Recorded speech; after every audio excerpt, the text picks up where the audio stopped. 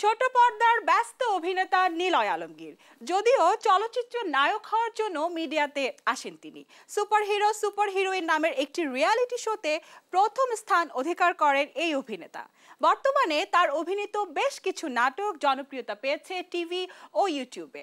নাটক ও সমসাময়িক নানা বিষয় নিয়ে সম্প্রতি তিনি আড্ডা দেন দেশ বিনোদনের চিটচ্যাট আড্ডায়। আহসান হাবিবের রিপোর্টে বিস্তারিত। দর্শক, স্বাগত জানাচ্ছি চিটচ্যাটে। আজ আমাদের সাথে অতিথি হিসেবে রয়েছেন এই প্রজন্মের জনপ্রিয় অভিনেতা যিনি টেলিভিশন এবং সোশ্যাল মিডিয়া দাপিয়ে বেড়াচ্ছেন। আজ তার সাথে আড্ডা দিব, কথা বলব। আমরা দেখছি আপনার নাটকগুলো ইউটিউবে million million view. Million views হলে সবারই ভালো লাগার কথা, কারণ হচ্ছে মিলিয়ন মিলিয়ন ভিউজ হচ্ছে মানে হচ্ছে দর্শক পছন্দ করছে কাজগুলো। এখনও পর্যন্ত কোন রোলটি করা হয়নি?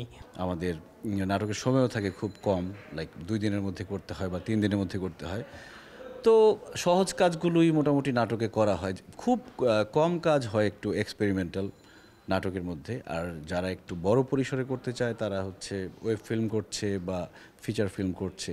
তো ফিল্মে হচ্ছে ওই জিনিসগুলো হয় লাইক ডিফারেন্ট ডিফারেন্ট ক্যারেক্টার তো আমি যেহেতু ফিল্ম করছি না বা ফিল্ম করা হচ্ছে না তো ওই রকম আসলে ক্যারেক্টারের স্বপ্ন দেখেও খুব একটা কিছু হয় না।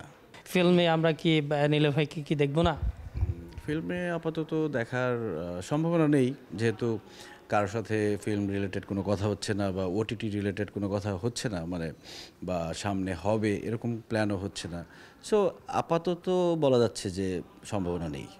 হচ্ছে না নাকি নিজেকে নিজে একটু আড়াল করে রাখছেন যে নাটকের কারণে কারণে? না সব কিছু মিলেই আসলে হচ্ছে না সেটা হয়তো আমাকে নিচ্ছে না বা আমি করছি না দুটোই। একটা সময় তো শুধু টেলিভিশন মিডিয়া ছিল বর্তমানে এই যে ইউটিউব এবং ফেসবুক এসে যে নাটক মানুষ হাতে হাতে পৌঁছে যাচ্ছে এই জিনিসগুলো আসলে কেমন লাগে? এটা অনেক সহজ হয়ে গেছে সবার কাছেই।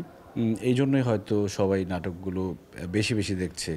যে কোনো সময় চাইলেই দেখতে পারল বা ব্যস্ত হয়ে গেল, পরে গিয়ে আবার দেখল। আর টেলিভিশনে দেখতে গেলে যেটা হতো যে, এই সময়টাতে আমাকে ফিক্স দেখতেই হবে। তারপর হচ্ছে একটা বিজ্ঞাপনের একটা বিড়ম্বনা ছিল। সব সময় মানুষ বলে এসছে যে, বিজ্ঞাপনের জন্য নাটক দেখতে পারে না বা বিজ্ঞাপন বেশি দেখায়। ওইখান থেকে একটু রিলিফ পায়। দর্শক, আজ পর্যন্তই। আবারও অন্য কোনো দিন, অন্য কোনো অতিথির সাথে দেখা হবে, আড্ডা হবে। সে পর্যন্ত ভালো থাকবেন, সুস্থ থাকবেন। আহসান হাবিব, দেশ বিনোদন।